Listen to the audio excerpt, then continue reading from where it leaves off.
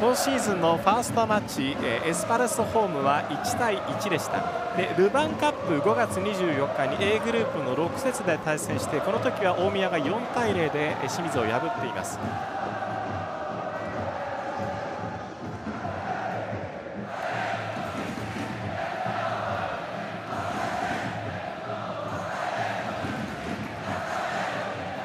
右サイドから奥井です。シンプルにクロスボール。ヘディングシュート。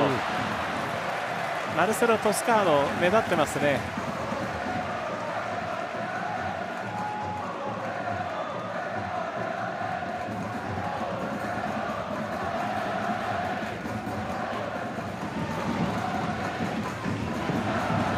ここで横谷。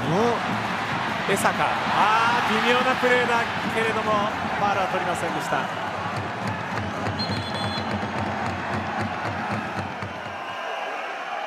ボールに行ってますね。いや微妙じゃないですか。そうですか、はい、ああ行ってないか、はい、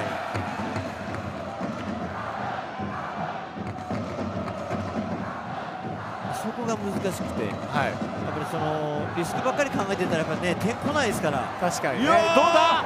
決まればゴラッソというね。やっぱり彼の左足はすごい。そうですね、えー、ここの距離からです。これ一つかわしてシュート一番遠いところを狙っていました。シアガウベスです。この距離からでも期待はできます。アウベス。これもいいボールだ。いや今のは決められるボールでしたね。いや本当ですよね。いいボールだ。いや100点満点のクロスだと思いますけどね今のは。コーナーキック落ちてくるボールだ。ヘディングシュート！もう一回シュート。キーパーが今度キャッチします。一点もののディフェンスでしたね今いや今6ターン完全に諦めたのか、えー、カバーにいた選手が分かっていたのか。どうなっちですかね、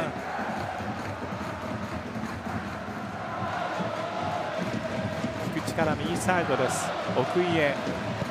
奥井のクロス。江坂。チャンスだ。大前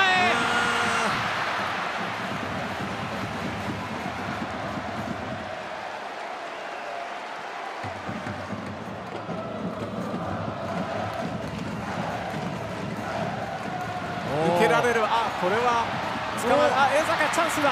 判定するか自分か。自分だシュート。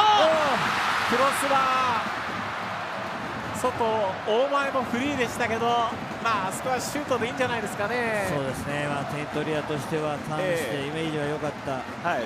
まあでも大前もやっぱり来るだろうというようなイメージを持ってるわけですよね、ここで。そうですよね、はい。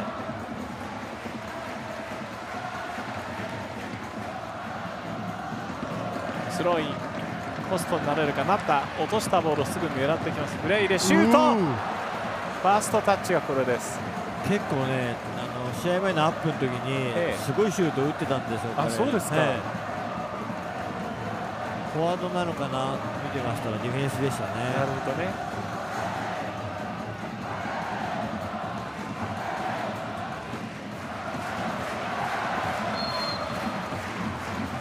コーナーキックタイムアップ